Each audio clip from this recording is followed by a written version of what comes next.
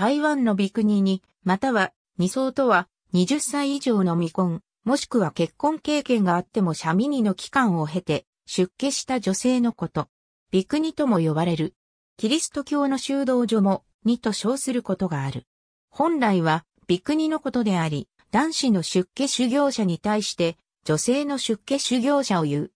女性が髪を肩のあたりで切ることやその髪型を甘そぎというが、そのような髪型の道場にという場合がある。また、近世以降少女、または女性を癒しめて呼ぶときにも、にという語を用いた。アマという日本語の読みは、母や女性一般を意味する、パーリ語のアンマーから来たと言われる。伝承では、最初のビクニは、釈迦の養母のマカハジャハダイと500人の釈迦族の女性たちであった。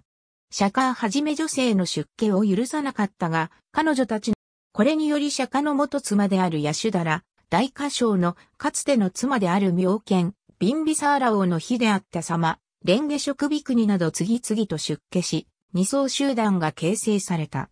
日本では一般に出家得度して剃髪自然絵をつけ、天寺にあって修行する女性を指す。二帽子、二午前、二前などと呼ばれた。在家のままで形だけ剃髪したものを二入道、二女房と言った。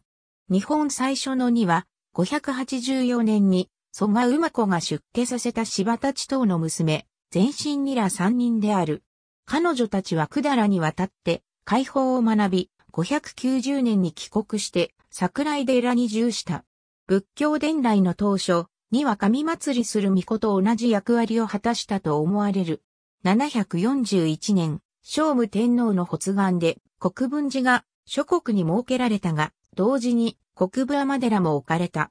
しかし、神護国家の思想が強まるにつれて、僧侶の自戒を重んじる立場から、二を含めて女性が仏教に接することを厭う風潮が生まれた。そのため、二に対する受戒は拒絶され、当時体制の二が存在しながら、仏教界においては僧侶としては否認されるという扱いが長く続くことになる。これに対して、純な天皇の皇后であった政子内親王が女性のための階段を作ろうとするが反対にあって、果たせず、一条天皇の中宮のであった藤原明子が自身の出家を機に、道長が建てた北条寺に二階段を設置したが、同時の後輩と共に失われた。中世には貴族出身者は下げにと称して、髪を肩のあたりで削いで、にとなることができた。それ以降この風習が一般に広まり、夫と死別したり、離婚したり、老婆となった時など、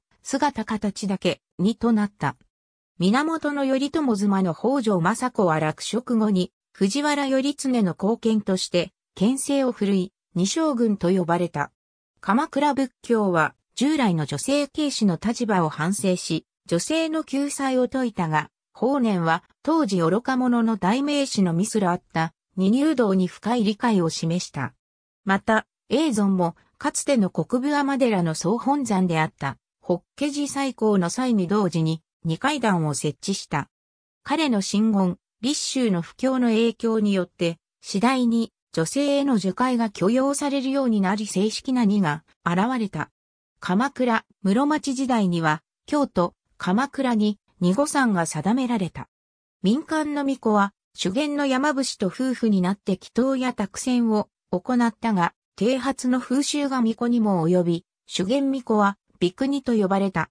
このようなビクニは各地を遊行し、これを背景に800ビクニの伝説が生まれた。熊野信仰を各地に広めた熊野ビクニは、陸道図や熊野那智山系曼荼羅などを得得し、江戸時代に入ると縁石にはべる歌び国となり、売春婦に転落する者もいた。2は、日本仏教のほぼすべての宗派に置かれたが、明治維新以降は、儒教的な家父長制の価値観が、旧武士階層以外にも広まり、これに加えて、国粋主義も台頭した昭和期には、日蓮召集のように2を廃止した例もある。狂劇、昭恵のヒロインである道教の二層、実際の道姑より紛争は華やかである。撮影、木村武史中国では、儒教、仏教、道教を三教と呼ぶ。仏教の二層は、二重止め、ビクニ等と呼ばれ、日本と同様に剃髪する。道教の2は、道十め、羊猿道などと呼ばれ、髪を伸ばし独特の結い方をする。中国の演劇や映画、ドラマに登場するアマは、演出の都合上、実際の2と化粧や衣装がかなり違うことが多いので注意を要する。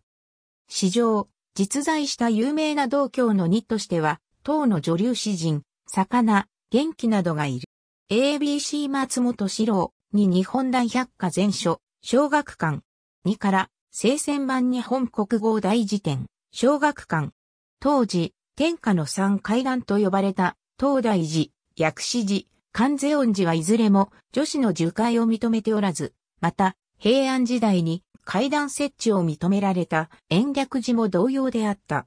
当時の朝廷は階段以外での受会は禁じていた。2の存在自体が否認される以上、国分天寺も存立の根拠を失い、そのほとんどが国分寺よりも早い時期に廃絶したり同時に併合されることになった。同年2月6日に12名の女性への受会を行ったという日本では森鴎外の短編小説、魚、元気のヒロインとしても知られる。ありがとうございます。